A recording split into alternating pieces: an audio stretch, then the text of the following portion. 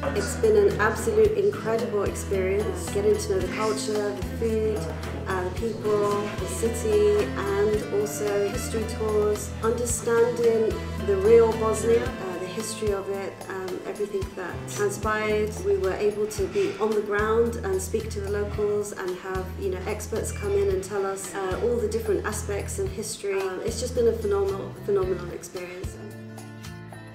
I have to say that I felt very welcome because I'm not, uh, I'm not Muslim, uh, but I wanted to um, learn more about the religion, and certainly for Bosnia, uh, there are many aspects.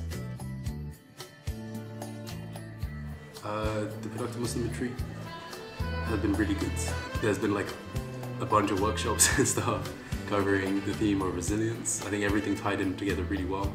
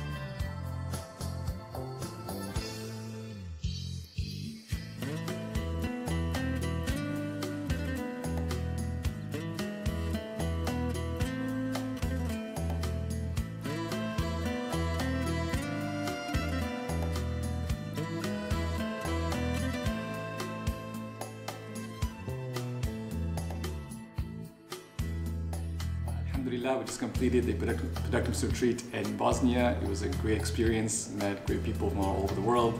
Uh, just so blessed to have such a wonderful group of travelers who experienced and learned about art resilience through the history and culture of Bosnia.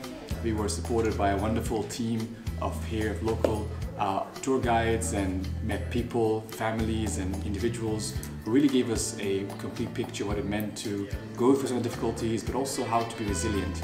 And that's kind of the aim of these retreats, not just about touring and exploring, but it's also about learning how you can take the lessons back home.